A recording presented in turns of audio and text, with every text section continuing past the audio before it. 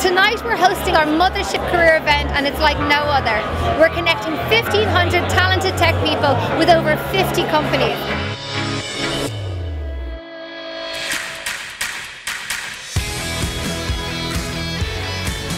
It's been great, like really good meeting new companies. I really love HelloFresh, I'm a huge fan, love to work there.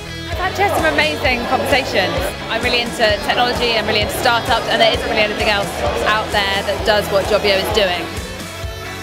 Quite amazed by, first of all, the venue, the candidates, and I guess just the atmosphere because it doesn't really feel like a job fair.